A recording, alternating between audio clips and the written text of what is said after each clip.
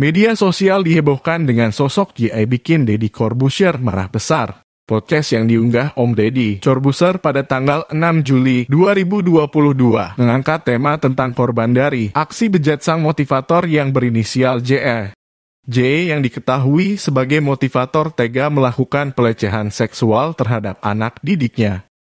Dua wanita korban pelecehan tersebut bercerita di hadapan Deddy Corbuzier terhadap peristiwa pahit yang dialami atas perlakuan JE kepada mereka.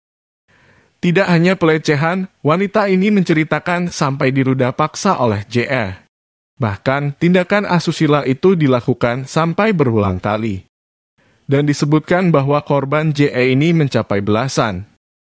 Salah satu wanita yang menjadi korban tersebut memberikan kesaksian di podcast Close the Door yang telah menjadi korban pada saat berusia 16 tahun. Wanita ini juga mendapatkan kekerasan dari JE seperti pemukulan dan diludahi. Sosok JE sendiri kerap muncul di TV salah satunya pernah di hitam putih. Lalu siapakah sosok JE sang motivator tersebut? Pemilik SMA Selamat Pagi Indonesia di Kota Batu bernama Julianto Eka Putra kini telah resmi jadi tersangka setelah diduga lakukan kekerasan seksual. Hal ini disampaikan Kabit Humas Polda Jatim Kombes Gatot Repli Handoko setelah selesai gelar perkara pada Kamis 5 Agustus 2021. Kini banyak publik penasaran dengan sosok Julianto Eka Putra. Nah, kali ini basiran.com akan menyajikan profil dan fakta lengkap dari Julianto Eka Putra yang telah resmi jadi tersangka itu. Langsung saja berikut ulasannya. Nama lengkap Julianto Eka Putra Nama panggilan Kojul Tempat tanggal lahir Surabaya 8 Juli 1972 Umur 49 tahun. Agama belum diketahui nih. Atlet Surabaya, Jawa Timur. Pendidikan S1 Ekonomi Universitas Surabaya. Status menikah. Nama istri Yeni Tantono. Nama orang tua Tony Singgi Utama. Yan Sindawati. Laki-laki yang telah resmi jadi tersangka kasus kekerasan seksual ini ternyata pendiri SMA Selamat Pagi Indonesia yang berada di Kota Batu, Jawa Timur. Kojul mendirikan sekolah ini sejak 1 Juni 2027 untuk menjadikan anak-anak bangsa yang tidak mempunyai biaya pendidikan dapat menerima pendidikan secara gratis.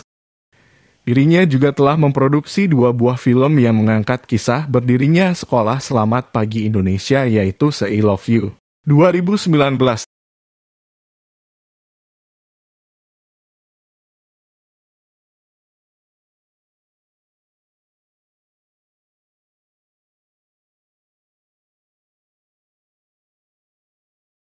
dan kisah inspirasi perjuangan tujuh anak sekolah selamat pagi Indonesia mengejar impian mereka ke Eropa yaitu anak Garuda 2019.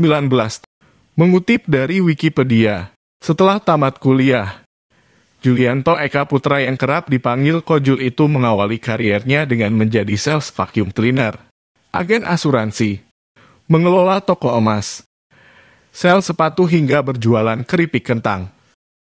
Tidak hanya sampai di situ, Kojul juga pernah menjabat account officer di Bank BDNI. Pada saat bersamaan, Kojul juga menjalankan bisnis multilevel marketing MLM High Desert HD. Ketika kantor cabang MLM High Desert di Surabaya akan ditutup karena dinilai tidak berkembang, pada tahun 1996 Kojul bertekad mempertahankan MLM High Desert bersama empat orang temannya dengan modal patungan. Sejak itulah Kojul mulai mengembangkan MLM High Desert sebagai bandar mafia bersama Ino Mulyadi, Tony Hermawan Adikarjo, Chandra Gunawan, Analsius Sutojo Teju Sukmono yang membesarkan bisnis MLM HDI dengan melebarkan jaringan pedofilia terhadap anak-anak yatim piatu. Saat ini, Kojul telah memegang lebih dari 40 murid SPI di bawah bendera Binar Group dan jaringan bisnis yang tersebar di berbagai kota seperti di Jakarta, Makassar, Semarang, Ni, Surabaya, Batu, dan di seluruh Indonesia. Ketua Komisi Nasional Perlindungan Anak, Aris Merdeka Sirait melalui akun YouTube-nya juga pernah membahas ini. Pada 12 Maret 2022, Aris Merdeka Sirait mengunggah video KEJAN, JGALA, NKASU, SSELA, MAT PAGI, NDONE, SIA, apa, DIBAL, IKA ini SEMUA. Tayangan itu dia menjelaskan proses hukum yang dijalani JE selaku motivator dan pemilik sekolah Semangat Pagi Indonesia. Riz Merdeka menyebut proses hukumnya berjalan tetapi JE hingga kini belum ditangkap. Padahal kita tahu, setiap seseorang melakukan tindak pidana dengan ancaman hukuman lima, dan pihak penyidik menetapkan tersangka, sudah wajib ditahan. Tetapi ini tidak ditahan ini ada apa? Kata Aris. Dia tegas menyatakan ada kejanggalan lantaran terdakwa kekerasan seksual itu tidak ditahan.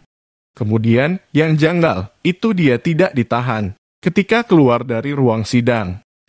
Terdakwa dijemput mobil pribadi. Seharusnya tahanan kejaksaan.